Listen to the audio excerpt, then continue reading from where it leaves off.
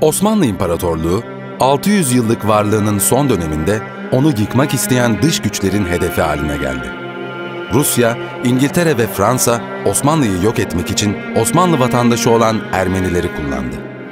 Osmanlı'yı parçalama fikri ve Ermeni terör örgütlerinin faaliyetleri büyük bir trajediyle sonuçlandı. Osmanlı vatandaşı olan Ermeniler, Osmanlılar tarafından çok güvenilen bir etnik gruptu. Ermeniler, Osmanlı devlet yönetiminde üst kademelerde bulunabiliyorlardı. Osmanlı İmparatorluğu'nun zayıflamasıyla dengeler değişti. Rusya ve Avrupa ülkeleri Osmanlı'nın iç işlerine daha çok karışmak istediler. Bunun için de kendilerine en yakın olan Ortodoks Hristiyan dinine mensup Ermenileri seçtiler. Ruslar, Ermenileri daha önce hiç kurulmamış bir Ermenistan hayaliyle kandırdılar.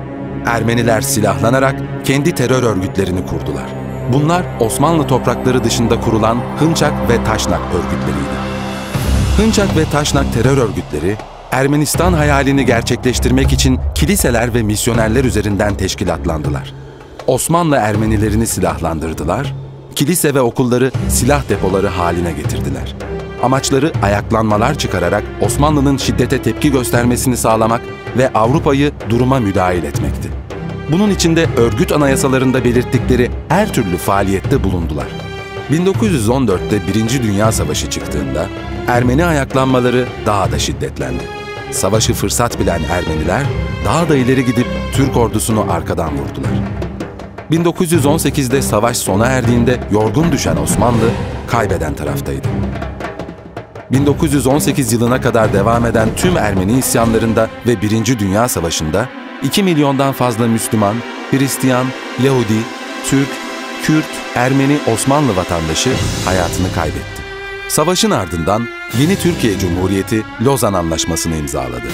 Lozan Anlaşması'nda Ermenilere herhangi bir ülke taahhüdü verilmedi. Rusya ve Avrupa'nın çıkarlarına hizmet etmeyen Ermenilerle işi bitmişti.